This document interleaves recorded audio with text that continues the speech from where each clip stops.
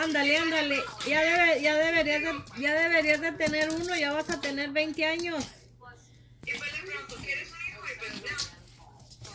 Va, entonces ¿para qué anda de payaso pues? ¿Verdad? Ay, no. Por eso ni le dices, ¿verdad? Al rato cuando menos piensen va a llegar y, y- van a estar ahí. ¿Eh? Van a decir, Santo Dios, ya, se ya nos embarazamos.